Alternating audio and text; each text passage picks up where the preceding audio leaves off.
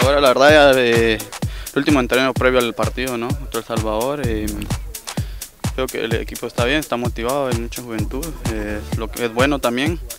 Y nada, pues a demostrar, ¿no? Ahora nos toca demostrar en la cancha que debemos tener un buen resultado.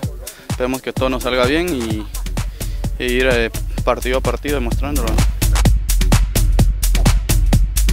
Lastimosamente sentí una, una pequeña molestia acá en la parte del posterior.